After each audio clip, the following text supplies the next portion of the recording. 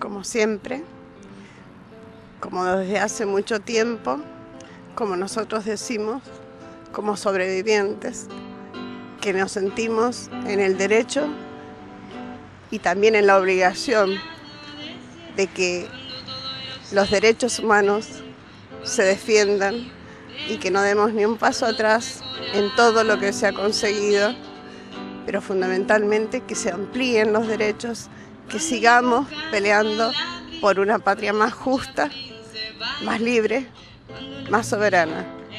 Eso será siempre nuestra postura. Mientras vivamos y a través de lo que dejemos, esperamos que todos los demás continúen. Porque como dijo Cristina, en cada uno hay un dirigente. Y nosotros sabemos que es así. Muchas gracias. Gracias a ustedes. Hoy es un día eh, lleno de emociones después de, este acto. Eh, la verdad es que mm, a pesar de que las últimas elecciones ha sido un gran sacudón, lo que estamos esperando es que las políticas de este gobierno que asumió verdaderamente sean políticas eh, de derechos humanos donde podamos seguir adelante con los juicios a lo largo de todo el territorio de la Argentina y podamos, eh, con los nietos recuperados y con la cantidad de derechos humanos, digamos, eh, vulnerados permanentemente y que el año próximo podamos estar también con esta plaza en esta fiesta popular eh, como Día Internacional de los Derechos Humanos y por 32 años de democracia acá en nuestra Argentina. Bueno, un abrazo para todos, ni un paso atrás y a seguir luchando y a seguir militando y cada vez más, con más energía y, abrazándonos unos a otros para seguir caminando en esto. Muchas gracias a los dos.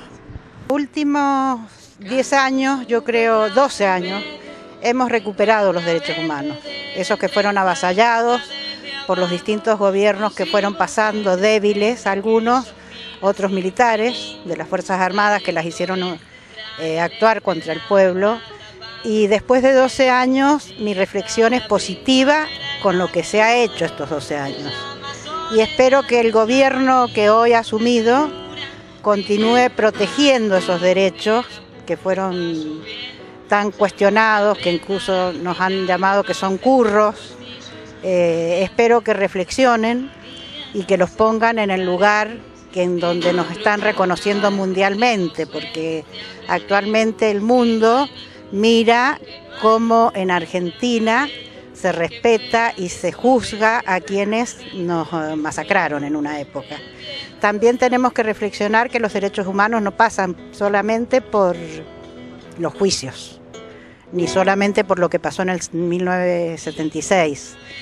Pasa por la defensa de los niños apropiados, pasa por los niños con discapacidades, pasa por la violencia contra la mujer, pasa porque la gente tenga eh, tierra, techo y trabajo, como dijo el Papa Francisco.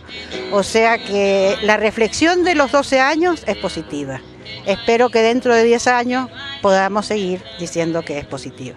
En representación del intendente municipal que por razones de agenda no ha podido estar en este acto, y les deja su saludo. Y recién me decía Andrea Matacota que parecemos todos amigos acá porque parecemos, parece que nos encontramos los mismos de siempre. Yo le decía que Atahualpa Yupanqui decía, así nos reconocemos por el lejano mirar. Y bueno, quizás es eso lo que todavía nos queda pendiente.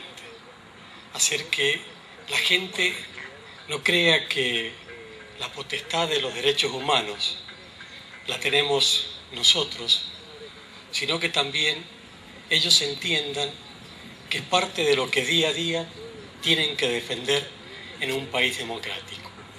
Esta plaza, cada uno de nosotros, de estos amigos que hoy nos juntamos para celebrar el Día de los derechos humanos, tenemos cada uno de nosotros una trayectoria y una historia en defensa de los derechos humanos. Esta plaza emblemática que tanto se defendió que hoy está llena de árboles, que yo que vengo y paso todos los días por acá, he visto el trabajo de mucha gente para sostenerla, tiene, diría en forma emblemática, un edificio enfrente que durante seis años me tocó conducir como decano y que siempre voy a decir que uno de los actos más emblemáticos y que me han hecho sentir orgulloso fue ayudar y apoyar para que los juicios de lesa humanidad, los primeros juicios de lesa humanidad que se hicieron en San Rafael, se hicieran en ese edificio en la Facultad de Ciencias Aplicadas a la Industria de la Universidad Nacional de Cuyo. Por eso, por eso creo que esta lucha tenemos que reivindicarla en cada momento, porque ninguno de ustedes, de los que, amigos que hoy estamos acá, creo que se haya hecho rico con este curro de los derechos humanos. Creo que todos nos conocemos para que algo de esto pueda pasar y que no sea lo que hoy queda picando en esta insólita democracia que hoy nos presenta un nuevo, un nuevo desafío y que lo aceptamos porque es la voluntad de la gente. Lo que quizás sea inaceptable que alguna de estas voces que hoy encarnan esta nueva gestión estén pensando en levantar los juicios de lesa humanidad, como algunos ya han expresado, porque si no, esta plaza se nos queda renga, será de la memoria, será de la verdad, pero no será de la justicia. Entonces, compañeros, amigos, sigamos trabajando, los derechos humanos están en un amplio espectro del pensamiento de los distintos partidos políticos, así que bueno, es nuestra lucha, seguiremos en ella, cada día alentémonos y a seguir trabajando. Muchas gracias.